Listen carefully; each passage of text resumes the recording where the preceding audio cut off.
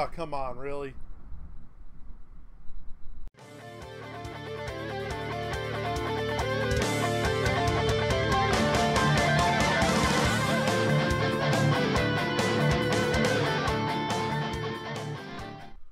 What's up, YouTube? Griever here, and yes, as you see in the title and the thumbnail and everything else, I was able to get my hands on an Adventure Force Nexus Pro. Now, before we get started, I do have to give a big shout out to my friend Ballistic Joe for not just finding these, but then giving me the heads up that he found them and grabbing one for me. So, Joe, again, thank you so much for grabbing this for me. I really do appreciate it. Now, where you are able to find the Adventure Force Nexus Pros is exclusively at Walmart because Adventure Force is their thing. Uh, these can be found either on their website or, unlike certain things like the Liberator, you can actually pick these up in store. Although I think the Liberator may actually be going in stores uh, later this summer. I think possibly. I'm not sure. Anyway, yes, you can actually pick this up in a Walmart store if they happen to have the stock for 50 US dollars. That is crazy. Now, for this particular review, I'm to kind of follow the format that I did with my Dart Zone, uh, the Dart Zone Pro, I should say. We're to do the FPS test. We're to go to the workbench where I will go over the aesthetics a lot more in depth and close up. We will also be opening this one up actually and not just as a afterthought because the spring because the trigger spring but yes this is getting opened regardless and then once all that is said and done i am going to give you my final thoughts on this blaster. But first things first let's go get some numbers on this thing. Okay so we're going to be testing the fps for the nexus pro right now. We're going to just be doing half-length darts. I'm not doing the full-length darts for two reasons. One I'm not 100% sure anyone actually cares what this is actually hitting with full length darts, but if you do, let me know in the comments down below and I will pin a comment with what the FPS claim or my FPS readings are with this. The other reason why I'm not doing this is because I actually don't know where all of my my full length darts are. I've fired the majority of them downrange or down at the other end of the garage and I kind of have to go find them. So that's the other reason.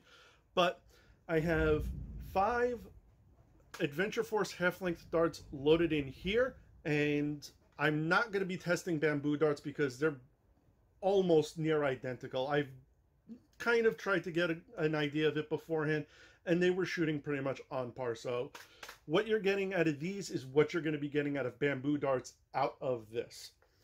Uh, I do have, though, here a Talon Mag that has five, a, yeah, five Gen 3 worker darts and five Gen 2 worker darts to see how well this does actually play with, you know, others. So, first up are the Adventure Force half-length darts.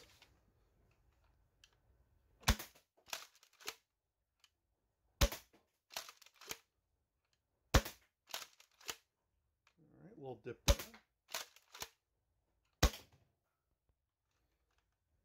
that's not bad. So, and it's definitely going over the 125 claim that it was saying before. So, gonna quick reset the Saturnus, and then I'm going to do the Gen 3 darts. Gen 3s. Not bad.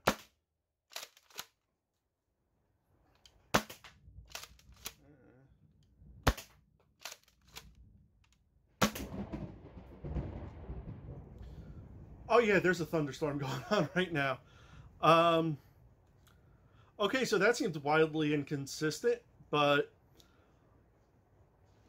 uh, just going to do a quick reset and then we'll see what the Gen 2s are doing. All right, Gen 2 time.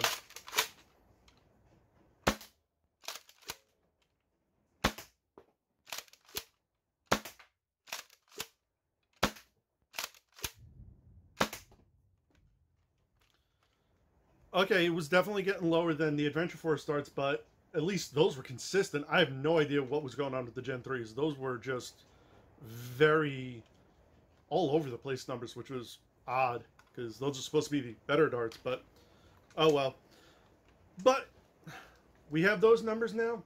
Let's go over to the workbench and get a closer look at this and also open this bad boy up. Okay, so here it is in all of its glory. But before we get to this, I want to talk about the fun stuff that it comes with, namely the accessories. So, first thing that this actually comes with, which I really didn't showcase in the FPS test because, again, it's like this is the last one I have left.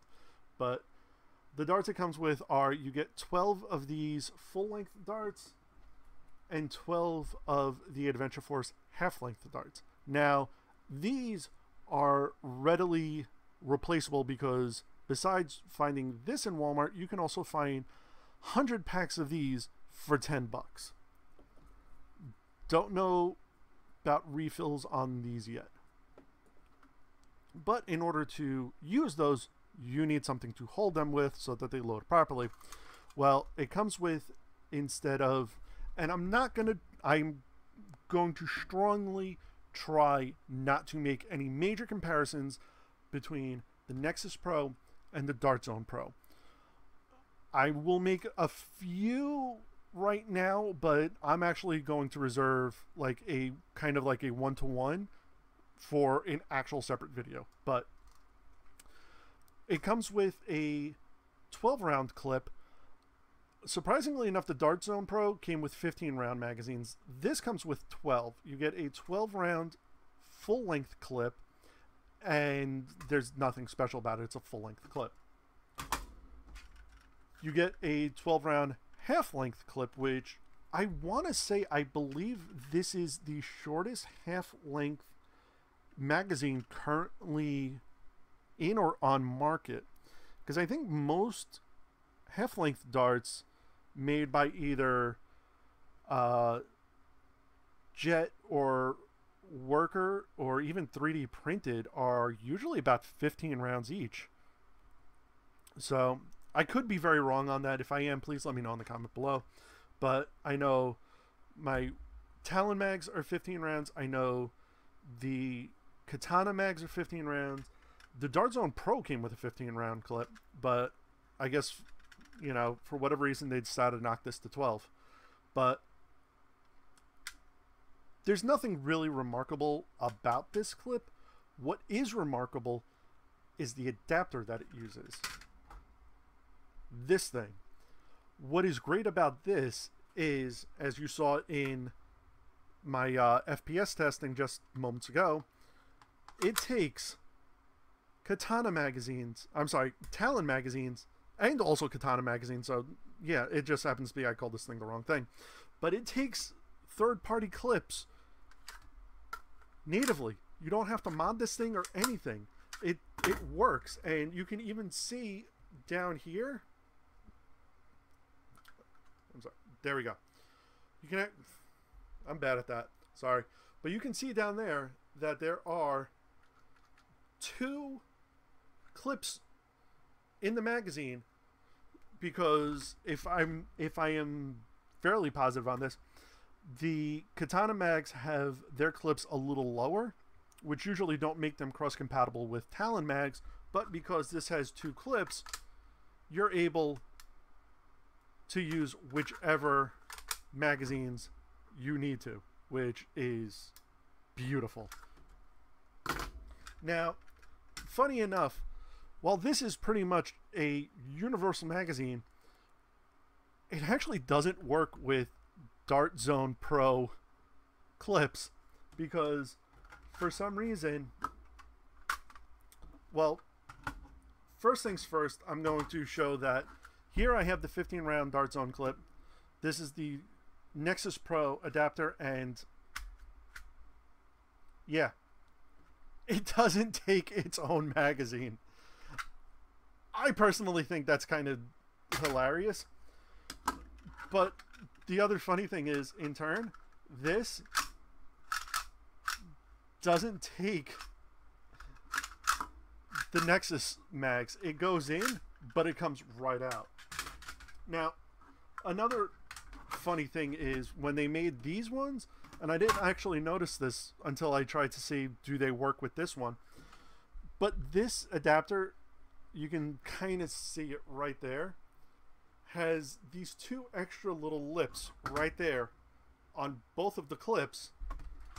And because of that, it doesn't work with the Nexus Pro. So I just happen to think that was just stupidly funny, but and I wanted to show that. So okay, now we're moving on to the actual blaster itself.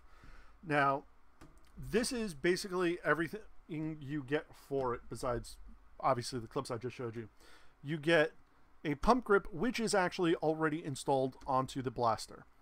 You get a muzzle brake which you do have to install yourself, but it's easy, it's twist fit.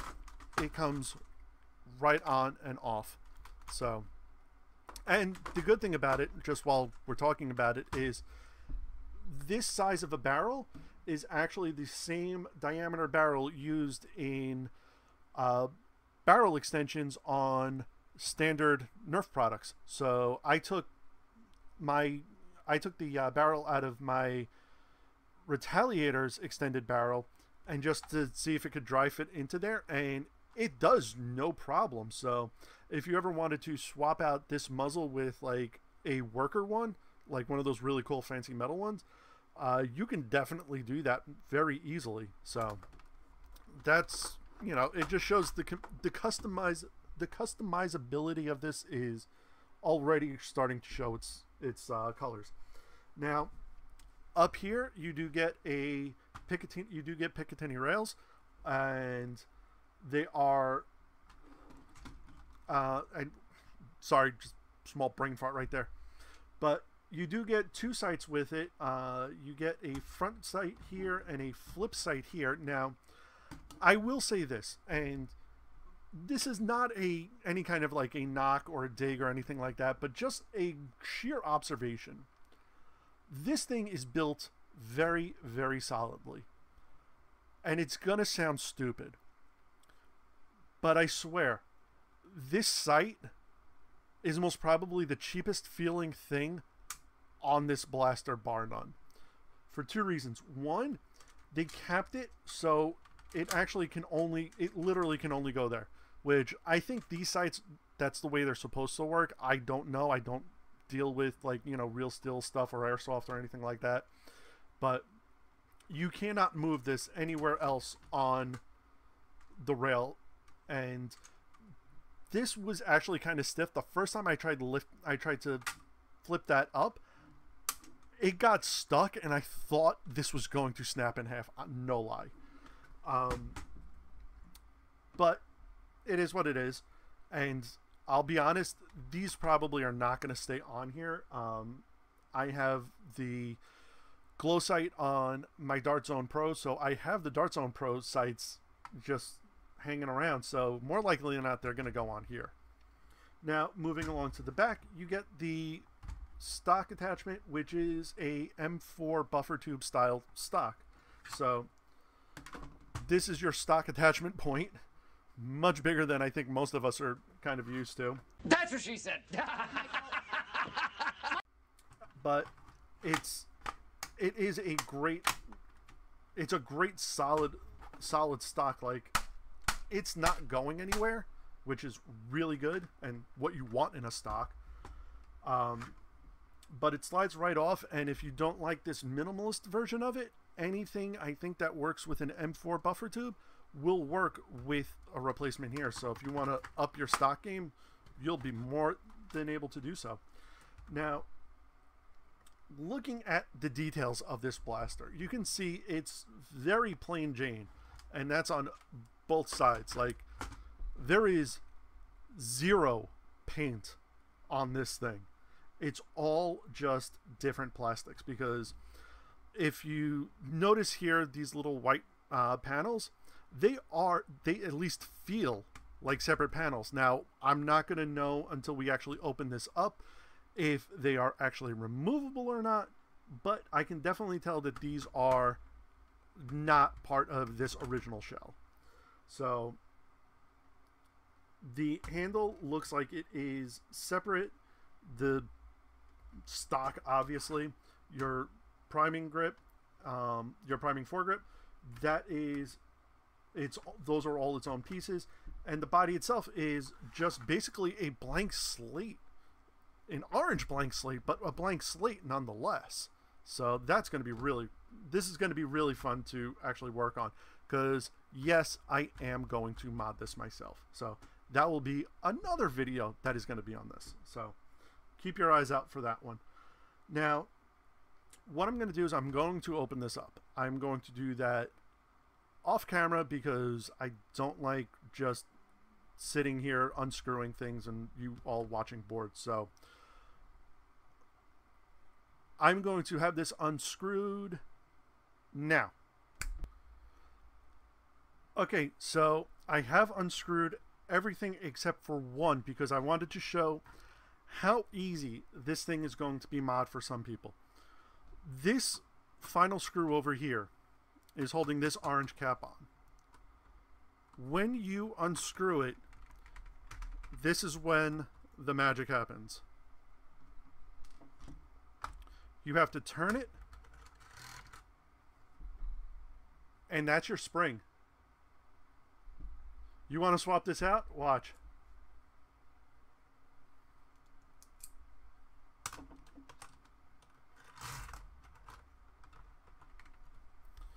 Ta-da!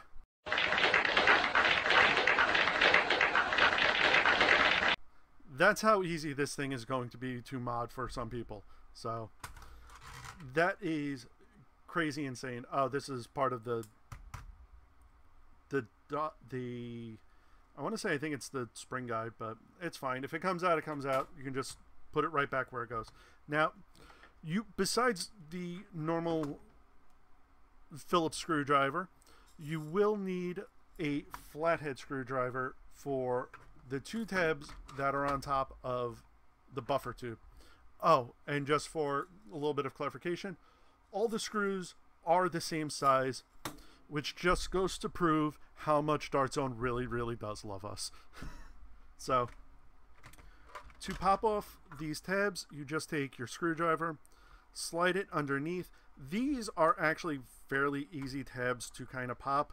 So, once, and I, as I say that, now it's going to make me look like a blatant, terrible liar. But once you get the clips open, you're able to take the top out. And here we go. The internals of damn trigger. I, I have no luck with the trigger springs. The internals of the Nexus Pro. And just for a little bit of look, yes, that white piece is a separate thing, so you can definitely pop these out. Um, from the tabs, it looks like it probably would be kind of easy you do have these little kind of notches right right above them. Um, if those bend off, I think it's gonna be it's not gonna be a major issue. So if those happen to break while you're trying to open this when you're trying to take that out, that's fine. Just make sure that orange tab doesn't break because if that breaks, then you're kind of SOL. But and also the front piece looks like it will come off as well and that's just a couple of clips right there so yeah this is really really very simple to work with here. You have your slide here which just runs along the metal inner tube and which connects directly to your breech. And you will notice there is an o-ring on there. I did forget to mention this before but God forbid that ever starts failing on you, you actually have two emergency O-rings on your stock. So, hey, there you go. So, you have what I believe this is a I want to say I believe this is a trigger lock of some kind uh, to prevent you from slam firing.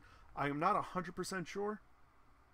Um, I'm leaving mine in place so as to not really disturb anything. Because if it ain't broke, don't fix it. But you know, I'm sure somebody will be able to correct me in the uh, comments on whether or not that would be okay to remove. Oh, no, I'm sorry.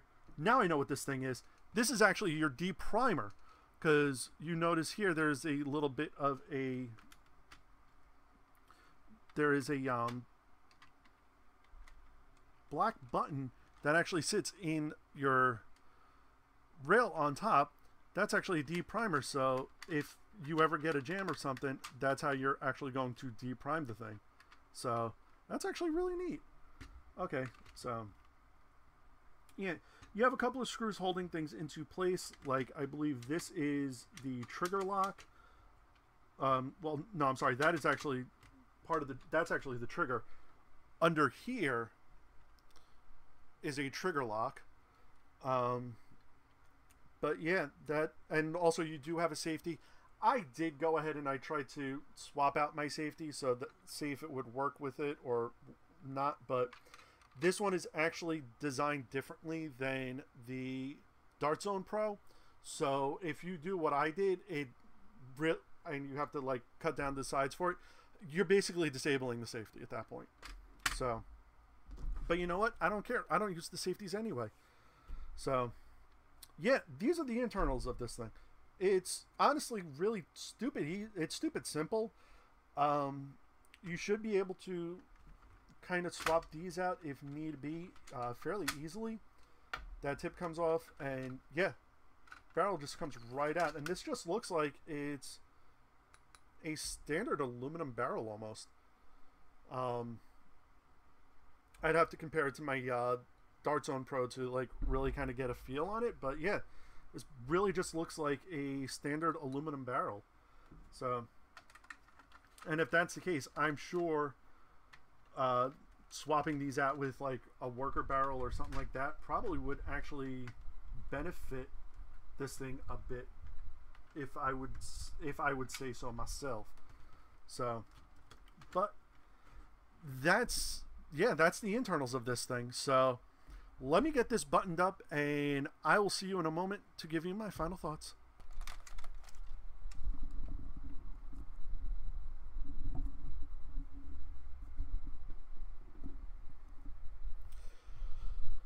Okay, so my final thoughts on the Adventure Force Nexus Pro.